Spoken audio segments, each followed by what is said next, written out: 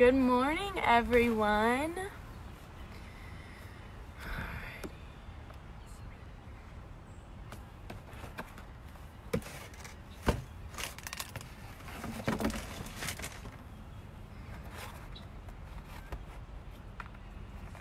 Wait a couple minutes.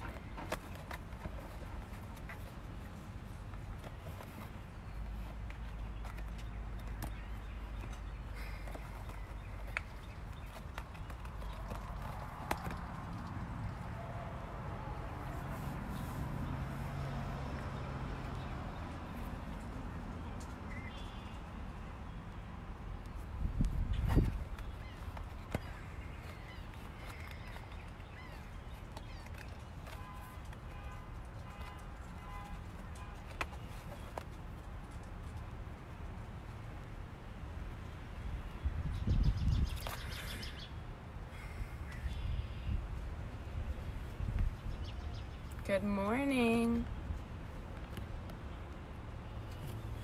Hi, Miss Rachel. We'll wait a couple more minutes to see if anyone else jumps on.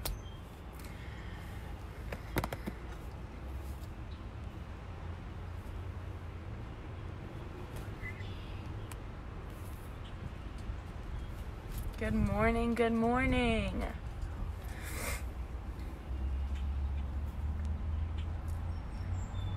Alrighty, I think we're gonna start getting started today. So, just like Miss Melissa was saying earlier, Miss Andrea and Miss Tracy yesterday, tomorrow is Earth Day. So today we're gonna read a book on 10 things I can do to help my world. So start thinking of some things that you can do at your house to help the world and to help the earth. I remember to turn off the lights when I leave the room. So make sure you turn off those lights. Turning off the lights and help using more efficient light bulbs saves valuable energy. Hi, Timmy. I try. What does that look like? Does that look like a sink? Hmm, I wonder what we're gonna try to do with this sink. To turn off the tap when I'm brushing my teeth. Every time you do this, you save 18 glasses of water. So when you're brushing your teeth every morning and at night before you go to bed, make sure you turn off the water while you're brushing. I always, oh, look, here's a trash can. Throw my trash away. Should we always throw our trash away, not on the ground? You're right. Put gar- putting garbage away keeps the world safe and clean. I will. Feed the birds in the winter. Feeding the birds helps them get ready for nesting in the spring. Good morning, Kira. I use, hmm, what could we use? Both sides of the paper.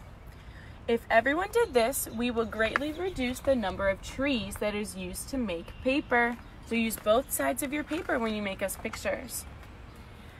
Remind my parents to unplug the TV when we are not watching it. Many electronic appliances use energy even when they are turned off. Look at that big TV. I enjoy. Hmm, what do you think they're doing with all these boxes? Making toys from things around the house. Isn't that what you guys were doing with Miss Melissa this morning? You guys were making some wind chimes. You can make a robot. We can reuse a lot of things before we throw them away. Can you guys make a robot out of some boxes or things around your house? If you do, post some pictures so I can see them. I like. Hmm, what does all this look like? Maybe some clouds. Oh, I see a car over here. So let's see. To walk to school. Avoiding car trips saves gas and cuts down on air pollution. Walking is also good exercise. So if you can walk to school, maybe you should walk to school when it gets nicer outside. Let's see. I can. What do all these look like? Oh, I see something with a tear over here. Let's see what it is. plant seeds and help them grow. Plants keep the air clean and healthy. Have you guys planted any seeds or any flowers since you've been at home with your families? Good morning, Miss Linda. I help. Hmm, what does all of these bins look like? Let's find out. Sort the recycling. So we have cans and glass and compost, what Miss Andrea did yesterday, plastic and paper.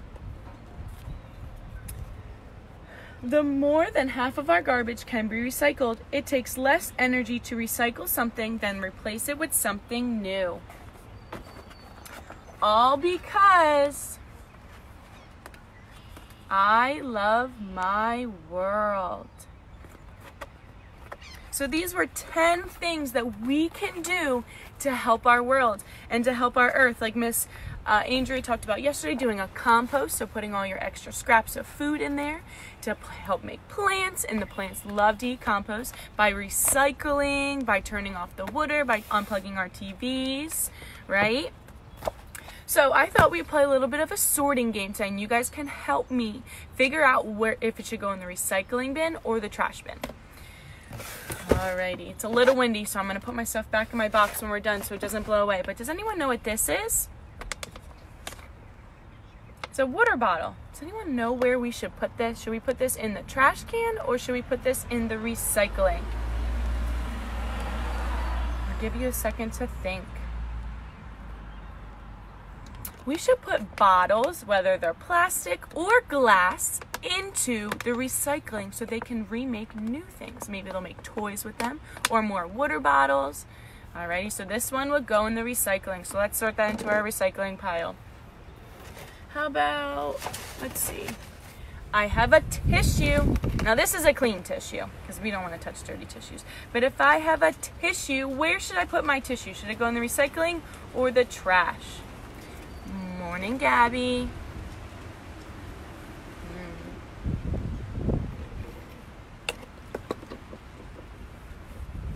Let's think about it. Where should we put our tissues?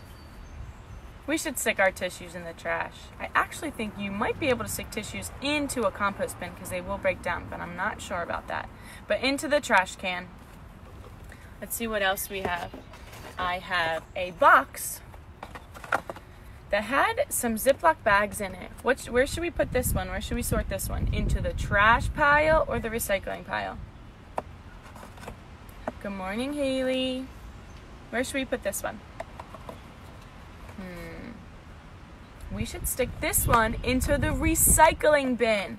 And I have a picture of a recycling bin. Actually, I forgot to show you. So normally our recycling bins are blue. Either they're small or they can be tall or wide. And they have this symbol right on the front. Do you see all those arrows? Let's see, I have a bigger picture of it. Do you see our arrows? So it's recycle, reduce, and reuse. So we can reduce and recycle our things. So that's what our recycling bins look like. You might have seen them in school, you might have them at home.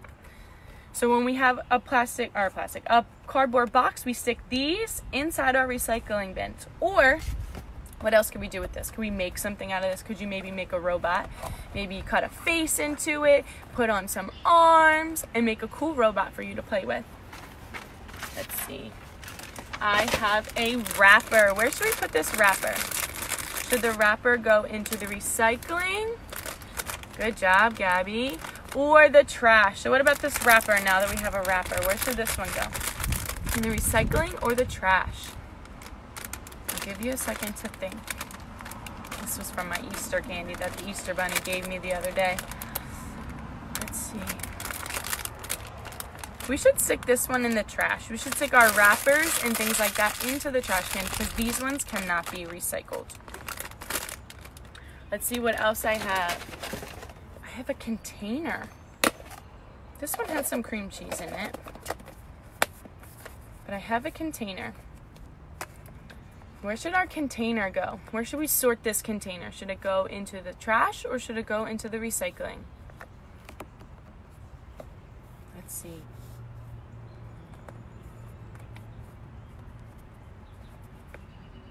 This one should go into the recycling because they can break this plastic down and turn it into something else for us to play. Alrighty, and I think I have one more thing. Does anyone know what this is? This is an egg carton, but this one, I don't know if you can see it, let's see, is made out of styrofoam. Let's see if we can listen to it tear. You can see it, it's made out of styrofoam. So where should this one go? Does anyone know? Styrofoam. It's a good guess, Haley, but actually, styrofoam we have to throw in the trash. We can't recycle styrofoam. But if you have the cardboard milk cartons, like I normally do, I just happen to have this one with all my art stuff in here at my house. The cardboard ones can be recycled, but styrofoam has to go into the trash because it's not good for the environment if it gets blown around or if it gets broken down. So that was our little bit of our sorting lesson. I challenge you at your house to sort some of the trash that you might have if you are not already recycling. And you can also put in glass bottles and paper. And depending on where you live, sometimes, or you could make a caterpillar with them. That's a good, a good thing to suggest. Um, and some towns, they have different bins for different items. So some towns have a glass bin that you put your glass recycling in, you put your paper recycling in. Where I live in Somers Point, we stick everything into one big blue bin. But if you have to sort, good morning, Mr. Reese, your recycling, I want you to try to help your parents sort your recycling, whether it has to go into the glass bin, the paper bin, the plastic bin, anything like that. Alrighty, and make something with you what you have in your recycling bin. Like I said, you can make a robot out of a plastic or a, out of a box. You can make caterpillars or flowers out of your egg carton. So let's see what you guys can make and leave some pictures down below so we can see what you guys made. Have a great Earth Day tomorrow and I'll see you guys later. Bye.